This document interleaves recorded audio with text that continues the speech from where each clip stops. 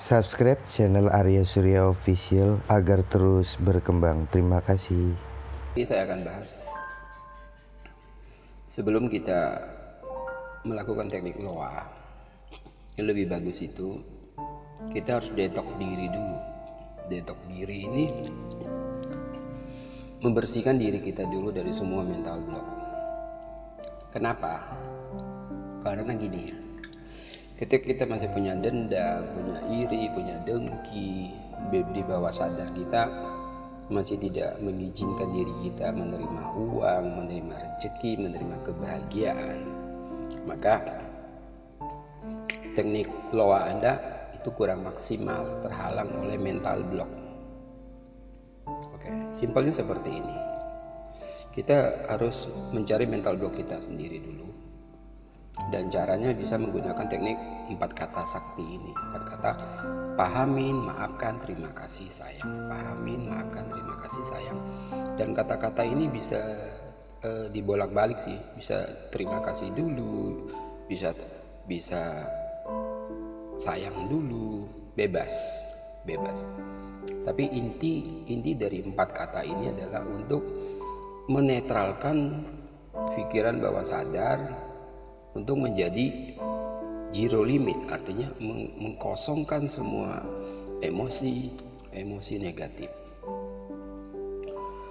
Dan biasanya ketika kita masih punya mental block waktu kita melakukan meditasi atau melakukan relaksasi dan melakukan empat kata ini biasanya memang akan muncul. Muncul ego-ego yang muncul perasaan-perasaan itu muncul. Dan biarkan saja dia mengalir datar saja. Datar saja karena manusia itu sebenarnya menyakiti dirinya sendiri bukan disakiti orang. Kenapa? Karena hati ini netral. Ketika lu ngizinin hati lu terluka artinya lu lu yang sendiri yang mengizinkan hati lu terluka bukan orang lain yang mau bikin lu luka. Kenapa lu izinin gitu loh? Kenapa lu baper? Kenapa lu harus marah? Pertanyaannya apakah sifat marah ini dibawa dari lahir? Bukan.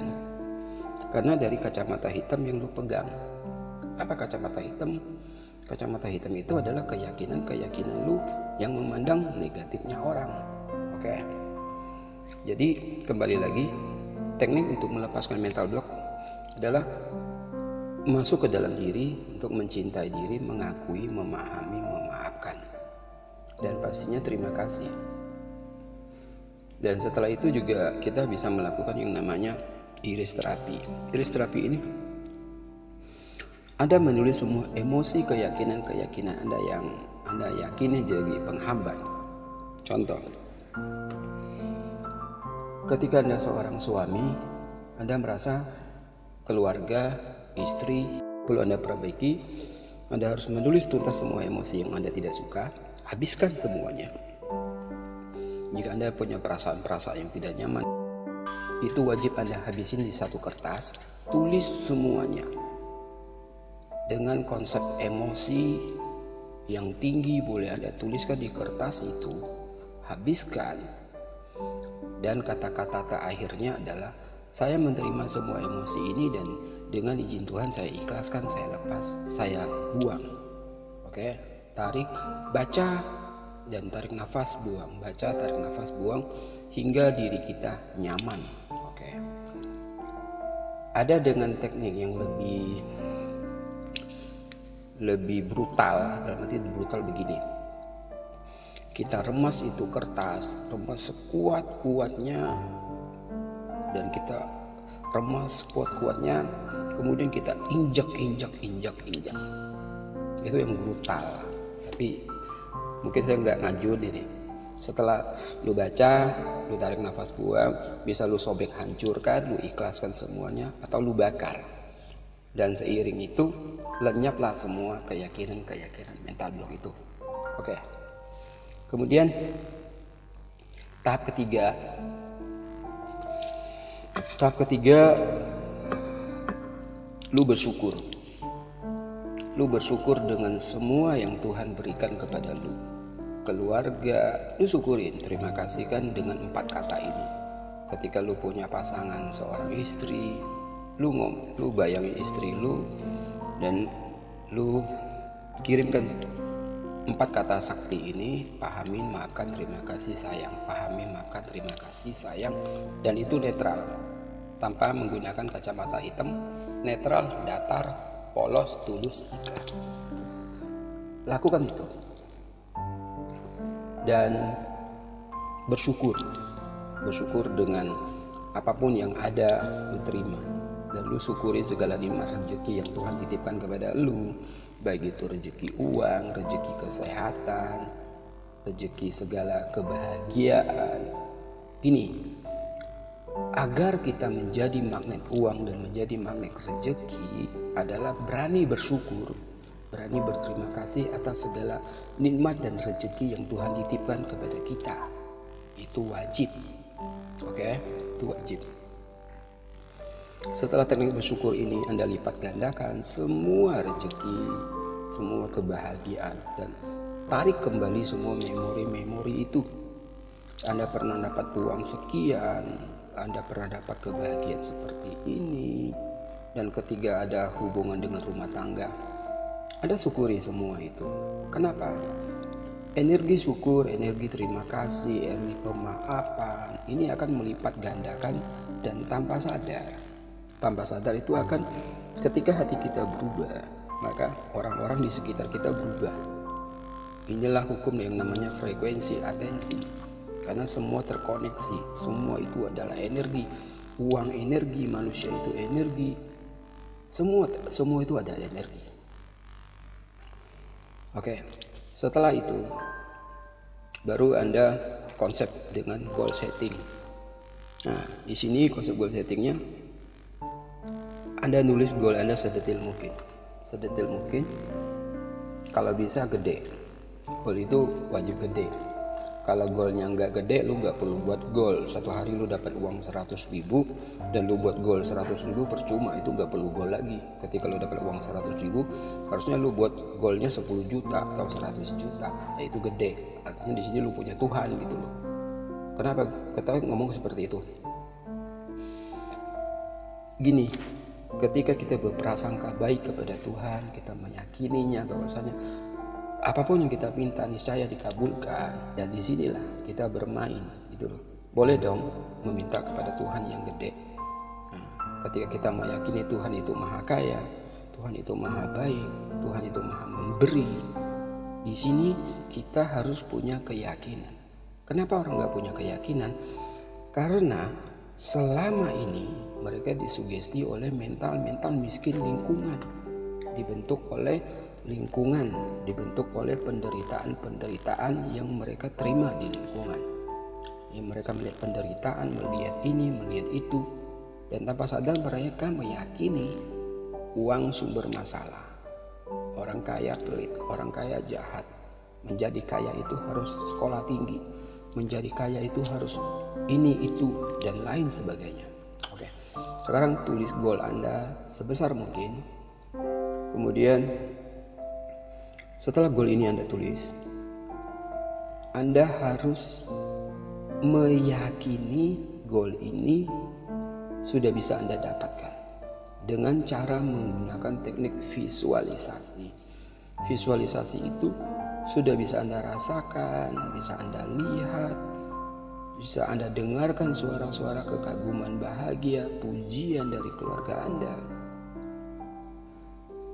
Dan Anda juga bisa melihat ketika manfaatnya yang Anda gunakan dan sudah Anda lihat layaknya seperti film dan Anda adalah pemain di situ, bukan penonton.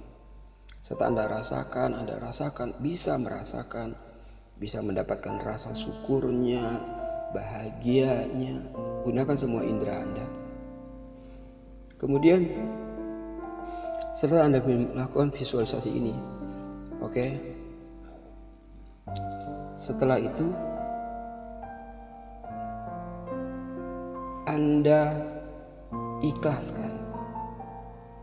Ikhlaskan ya istilah kita seperti ini sih. kita lempar lagi ke alam semesta, kita balikan lagi kepada Tuhan, masalah waktu, masalah jalan, Tuhan yang punya rencana dong. Tugas elu cuman minta. Tugas elu cuman minta dan tugas elu cuman menjalankan prosesnya gitu loh. Lepaskan yang namanya ngaret, lepaskan yang namanya melekat, lepaskan yang namanya kapan datang, kenapa belum nongol. Lo harus lepaskan itu. Dan di sinilah, di sinilah yang dinamakan keyakinan. Artinya gini, ketika lu udah punya yakin, udah yakin, oh gue udah minta sama Tuhan nih, pasti udah sampai. Nah, di sini lu harus punya. Dan berlakulah sudah dapat. Ketika lu pengen uang 10 miliar umpamanya, lu sudah berlaku seperti orang yang punya uang 10 miliar be do have. Be itu menjadi. Ketika lu udah punya uang 10 miliar gayalah seperti orang 10 miliar. Berpikirlah seperti itu berjalanlah seperti itu. Naikkan citra diri level diri frekuensi diri. Ini penting. Kenapa?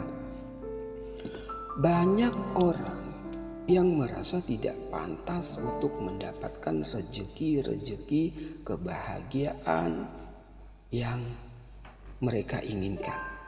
Karena memiliki nilai citra diri yang kecil gitu loh. Naikkan naikkan frekuensi lo naikkan naikkan level dirimu. Pantaskan dirimu untuk mendapatkan itu. Oke, sekian dulu. Oh, belum ya? Belum. Oke. Dalam teknik goal, Anda harus detil. Kalau perlu, goal ini harus dengan kata-kata positif dan bentuknya adalah sekarang. Contoh, eh, aku bahagia senang karena sudah dititipkan Tuhan rezeki sekian pada tanggal sekian tahun sekian itu detail jadi kata-kata itu perlu positif. Artinya sudah. Artinya mungkin versinya gini. Alhamdulillah ya Allah aku sudah mendapatkan rezekimu 10 miliar pada tahun pada bulan tanggal 6 Juni 2019 oke datangnya dari berbagai sumber baik yang aku tahu maupun yang aku tidak tahu. Kenapa perlu berkata seperti itu karena kita tidak tahu Tuhan memberi kita rezeki melalui pintu rezeki mana jalan dari mana. Itu urusan Tuhan. Yang paling penting lu punya Tuhan lu punya iman lu punya yakin. Permasalahannya ketika lu disugesti disugesti mental block miskin lingkungan-lingkungan yang menciptakan elu seperti itu tanpa sadar belief system keyakinan bahwa sadar lu lu nggak merasa pantas menjadi kaya dan sukses seperti itu. Oke, sekian dulu. Dan jika ada pertanyaan yang nggak jelas, mungkin bisa menghubungi saya via telepon, japri, dan mungkin dari teman-teman juga bisa membantu menjawab dan memberi masukan nih. Oke, buat anda yang mendengarkan uh, audio ini, ya marilah kita lebih ikhlas mengakui diri kita apa adanya. Masuklah ke dalam diri Anda yang paling dalam, Sang bijaksana yang dekat dengan Tuhan. Akui dirimu apa adanya, ikhlaskan semua kehidupan, ikhlas dengan kehidupanmu, ikhlas dengan rezekimu, ikhlas dengan masalahmu. Ketika lu ikhlas, lu terima apa adanya. Artinya, lu membiarkan proses pendewasaan Tuhan berjalan buat lu. Dan setelah itu, lu akan melihat peluang, solusi, jalan keluar akan jauh lebih mudah. Tapi ketika lu melekat dengan masalah lu, lu fokus dengan masalah lu, lu ngeluh dengan masalah lu, sorry, lu nggak menikmati proses hidup. Galau adalah proses kehidupan yang harus kita terima. Bonusnya ketika menerima galau harus kita terima, kita akui, bahagianya muncul. Jadi ketika lagi galau, lagi mumut, ya udah terima aja nih. nggak usah lo paksain.